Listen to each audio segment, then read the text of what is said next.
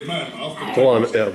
There we go. Our analysts Diggy. confirm this creature is Go. not the alien that escaped Ready? Area 51 four years ago. Good boy!